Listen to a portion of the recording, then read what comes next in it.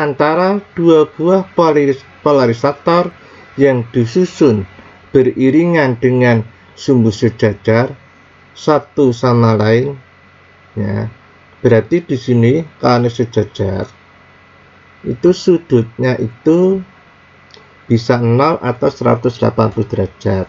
Ini kita pakai yang 180 derajat ya dipasang sebuah polarisator lain demikian sehingga sumbunya membuat sudut 60 derajat dengan sumbu polarisator yang pertama berarti alfa satunya diketahui 60 derajat.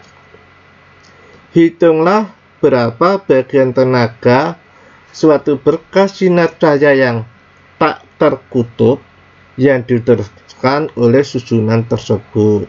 Berarti yang ditanyakan itu I3. Pertama kali kan I1 masuk ke kelas pertama. Pertama I0 masuk ke kelas pertama I1 rute tambahan I2 rute terakhir I3 diketahui alfa sama dengan 180 derajat. Ya.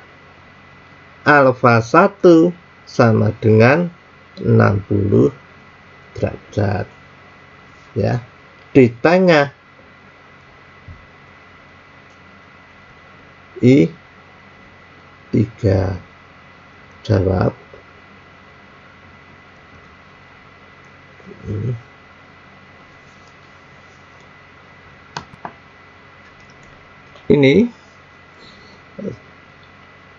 jarak antara sudut antara polarisatornya itu pertama kali ini adalah berapa ini alfa 180 derajat. Terus ini dengan sini. Ini dengan alfa 1 sama dengan 60 derajat. Maka yang di sini ini alfa 2 berapa? 120 derajat. Yang pertama kali itu I0 masuk ke sini jadi I 1 ini menjadi I 2 yang masuk keluar sini adalah I 3 ya. I 0 masuk jadi I 1 masuk jadi I 2 terus jadi I 3 oke. Apa? I 3 itu sama dengan I 2 I 2 cos kuadrat alfa 2 I2 berasal dari I1 dan I2 nya di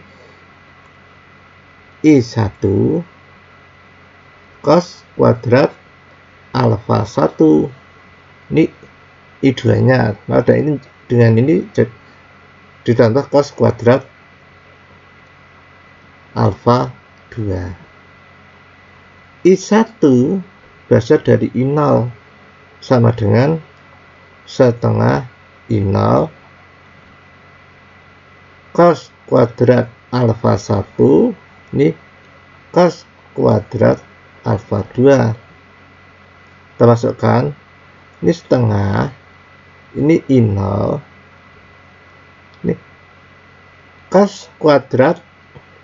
Alfa 1 alfa 1 nya itu adalah 60 derajat. Terus cos kuadrat alfa dari 120 derajat. Kita hitung ini setengah ini I0 cos 60 itu setengah. Berarti ini setengah kuadrat.